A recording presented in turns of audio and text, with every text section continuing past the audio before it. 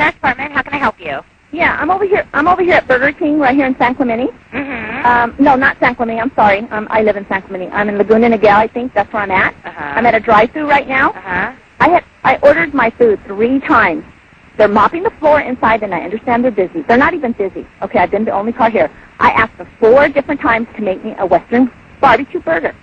Okay, they keep giving me a hamburger with lettuce, tomato, and cheese, onions, and I said I'm not leaving. I Uh-huh. want a Western burger because I just got my kids from Taekwondo. They're hungry. I'm on my way home, and I live in San Clemente. Uh-huh. Okay. She said she gave me another hamburger. It's wrong. I said four times. I said I want it. She goes, can you go out and park in front? I said no. I want my hamburger right. So then the, the lady came to the manager, she or whatever whoever she is. She came up and she said, um, she said, um, do you want your money back? And I said no. I want my hamburger. My kids are hungry and I have to jump on the toll freeway. I said I am not leaving this spot. Uh, and I, said I will call the police because I want my Western burger done right. Now is that so hard? Okay, what exactly is it you want us to do for you? I send the officers down here. I want I want them to make me Right. right. Ma'am, we're not going to go down there and enforce your Western bacon cheeseburger. What am I supposed to do? This is this is between you and the manager. This, we're not going to go enforce how to make a hamburger. That's why that's not a criminal issue.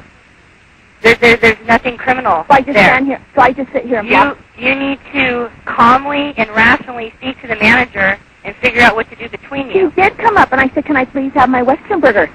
She she said, "I'm not dealing with." it." She walked away 'Cause- because they're mopping the floor and it's all full of suds, and they don't want to run. They don't want to go through there and and, And, and ma'am, then I suggest you get your money back and go somewhere else. This this this is this is not a criminal issue. We can't go out there and and make them make you a cheeseburger the way you want it.